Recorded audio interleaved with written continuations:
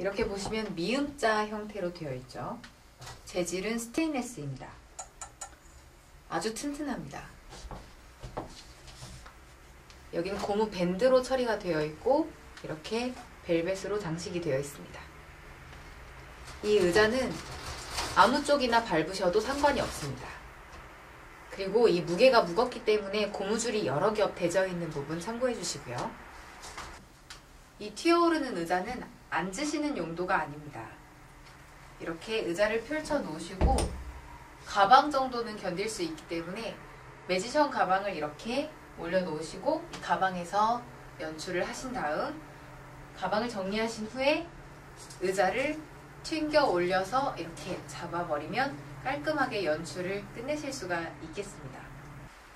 의자는 힘껏 밟아주셔야 하고 튕겨 올라올 때 이렇게 의자가 회전을 할 수 있기 때문에 여러분께서 얼굴을 숙이고 의자를 밟아서 튕겨 올리시면 위험하실 수가 있습니다.